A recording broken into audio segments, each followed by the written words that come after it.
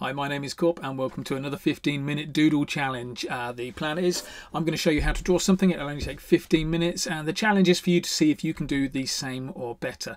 Okay, I like to keep it really simple so we're just going to use a Sharpie and a fine liner pen. No pencils involved in today's uh, drawing. So go and grab that. We'll set ourselves 15 minutes and then we're going to draw a zombie today. Okay, so um, yeah, start with that fat pen and let's go. First thing we're going to do right in the center of our page let's draw three circles. One over there, one over there, one over there. And let's colour those in. And what we're going to do, this is going to be the nose, which is why we've gone right in the centre of the page. What we're going to do with this nose is we're going to join all those circles together with a, a little line going from there, look, just kind of coming in and back out again, in and out like that throw a little bit of colour into that centre. There's uh, a nose for our zombie. What we're going to do across the top lip is a what I call a floater. It's a, a line that doesn't really hit anything, just kind of sits there on its on its own. Flick off either end if you can so that we've got nice tapered ends, but don't worry if you can't do that. Uh, right, next thing we'll do, let's go around these two bottom bits now. As we get to the middle, we're just going to flick the pen down a little bit. So watch this, again, just kind of flicking up and then flick down like that. Go over it twice. I double line everything I do, make the lines nice and wonky.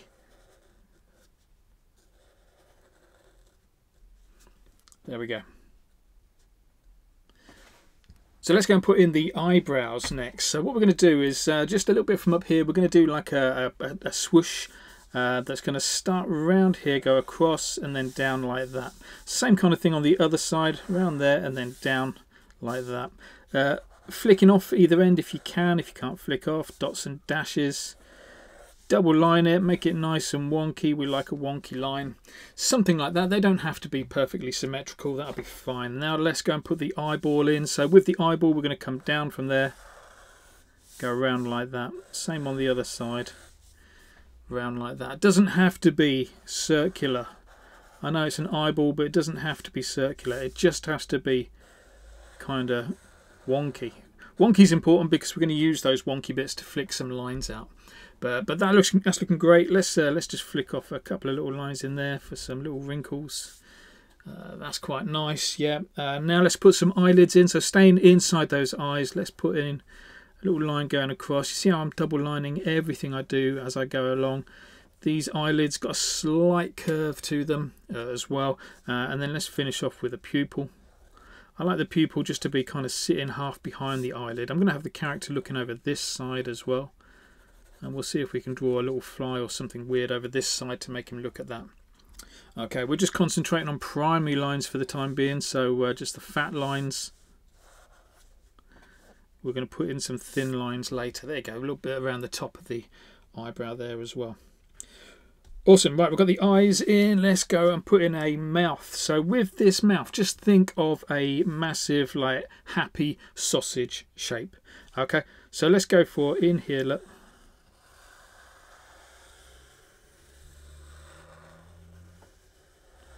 Happy sausage, you can see why I call it the happy sausage shape. Go around it twice, make it nice and wonky.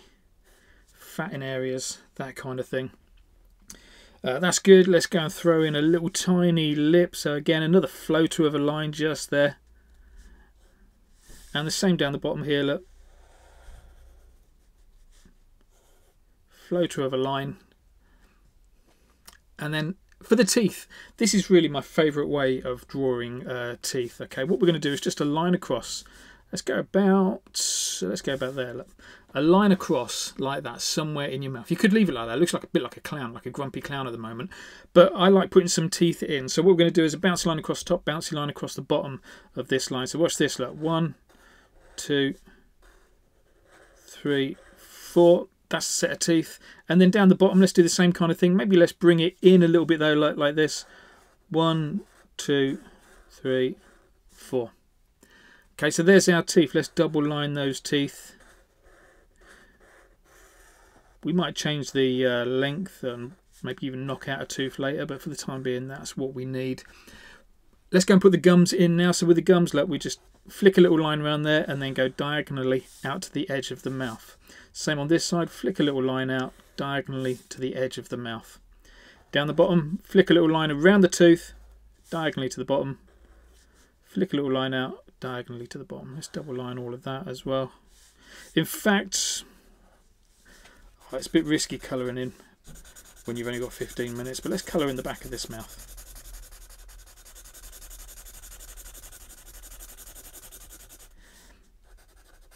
What's nice is when you do colour in, first of all, you haven't got to think too much about it. It gives your brain a little bit of breathing space. Um, but it also increases the contrast of your piece as well. So you get this nice big black area in your artwork, which uh, I just think looks really nice.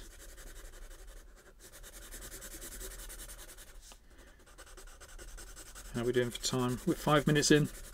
Ten minutes to go. I think we're reasonably on track. You know, I don't practice these. I just come up with a quick sketch and then see how we go. That looks nice. Let's go and put in another little floater just there.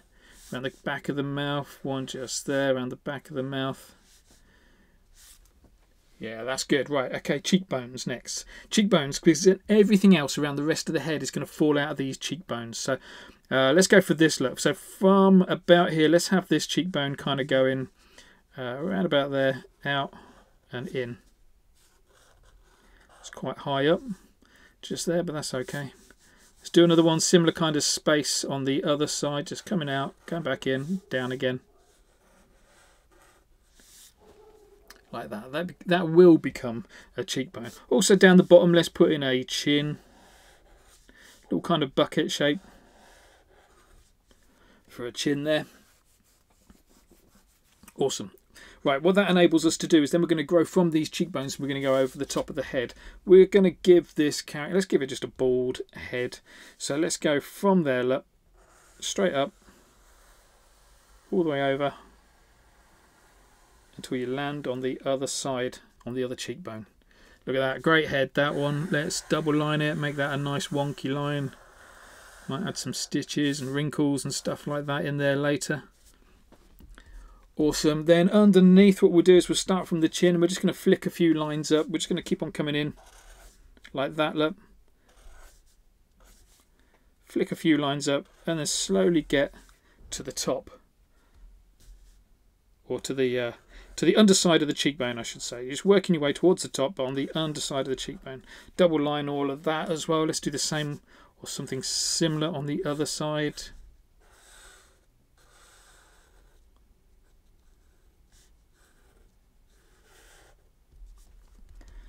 Fab.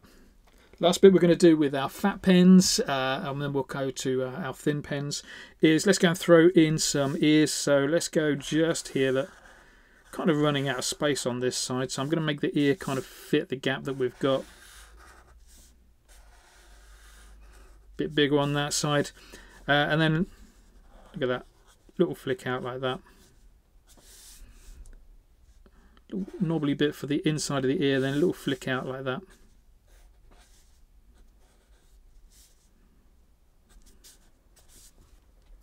Okay, let's finish off with a couple of wrinkles. Across the top of the head there. Dots and dashes around the edges, fat and wonky in the middle. Lovely stuff. Oh, look at how way out position I am. I'm really close to the top and over on this side. That doesn't matter. Go and grab your thin pen. Let's go and put some details in with the thin pen now. Let's uh, let's go and put some of the important shadows in first or the texture so little lines inside the eyelid there. Let's go and do that. I kind of like just adding shadows first and then figuring out what gaps I've got after the shadows are added.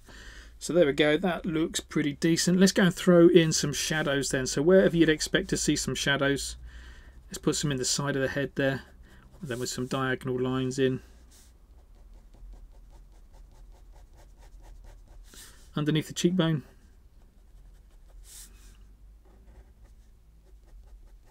Bottom of the ear. Maybe even inside the ear as well. Look. All we're doing is we're just outlining where the where we think the shadows would be and then putting some diagonal lines inside that gap with our thin pen. Nice. Uh, what else should we do? Let's. I'm, I'm going to make the gums uh, a little bit more wet. So let's go and add some little drips. Little U shapes. Look.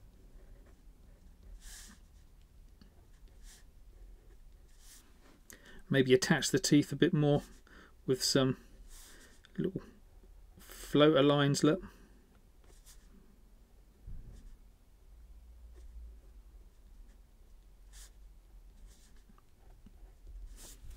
It's looking good. I like to put a little bit of graining in the teeth, so let's flick a few lines out in the teeth. Maybe even take a little chip out of one of the teeth, look. Awesome stuff. Uh, more shadows. Let's go and put some more shadows in. I think we're going to see some around here. Some around here. We're 11 minutes in. We're doing great for time. Little shadow across the bottom lip there. Kind of jumped into all those bits in the mouth without finishing off all the shadows, but doesn't matter too much. Let's put some shadows in all of these little wrinkles that we've got. Look. So we're just again outlining where we expect the shadow to be and then putting some diagonal lines in where the shadow is.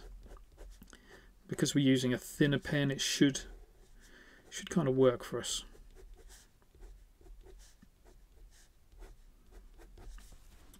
Awesome. Eyebrows. Uh, uh, I forgot to put some shadows into the eyebrows. Let's go and do that. Look.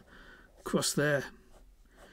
Can be afford to be quite bold with these shadows. Just go for it. If it works out, just carry on doing it. If it doesn't work out, don't do it anymore. That is my general rule of thumb when it comes to drawing.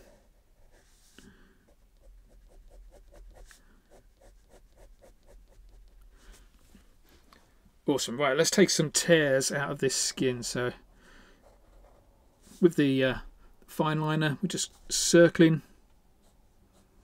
putting some lines across. See how it just looks like a, a mole of different skin colour or a little hole in the skin.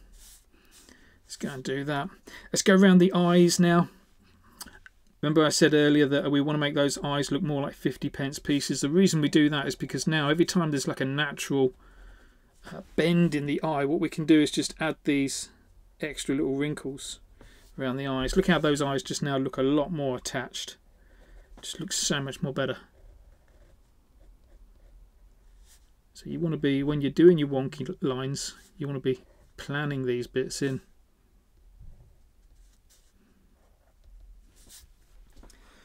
Fab, 13 minutes in, what else can we do? Let's, I think shading is good. Let's go and have a little bit of fun now. Let's go and put some hair in on this character. Uh, let's just flick out a few lines like that. Not too much hair. Hair is a little bit overrated. Also, you'll see mine is like right up in the corner there. So what I'm going to do is I'm going to draw a little frame that's going to kind of bring it down this side a little bit. So watch this. This is a real neat little technique of kind of centering your artwork. So let's go there and let's go there as well with a little frame. Double line that frame.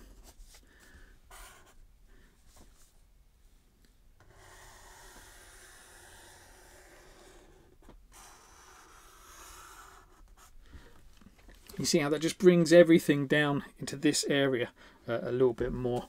Um, let's go and put some ink splats so if ever I can't think of what to put in the background, I'll just throw in some ink splats. So again, using my fat pen, clump them together. So draw them in twos and threes, big, medium and small. Let's put some down here as well. It's looking good. What about some drips? Coming off there, coming off the ear, that kind of thing. Awesome stuff. Right, last 30 seconds. Go and grab your thin pen. Let's just chuck in a couple of flies.